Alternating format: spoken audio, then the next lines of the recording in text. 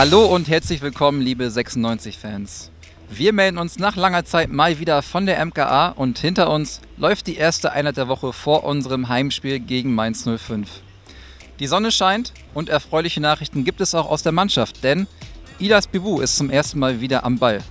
Außerdem sind auch Miko Albonos und Edgar Pripp wieder voll ins Mannschaftstraining eingestiegen, nachdem sie in der letzten Woche schon integrativ trainiert hatten.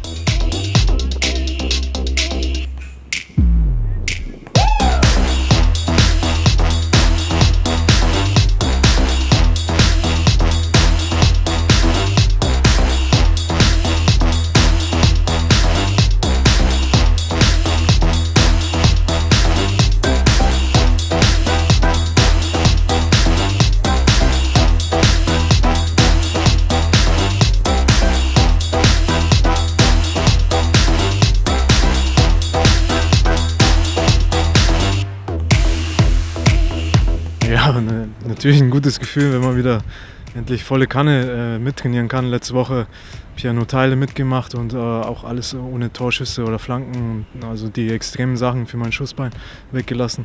Und jetzt ab heute ähm, ja, bin ich voll eingestiegen.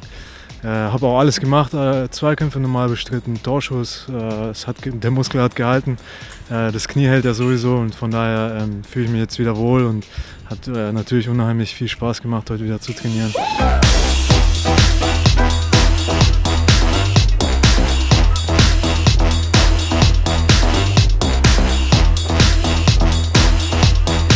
Ob ich gegen Mainz spielen kann, äh, muss natürlich alleine der Trainer entscheiden oder das Trainerteam. Äh, ich kann nur dafür sorgen, mich gut zu präsentieren, äh, Spaß am, am, am, Training zu haben und äh, Spaß wieder Fußball zu spielen.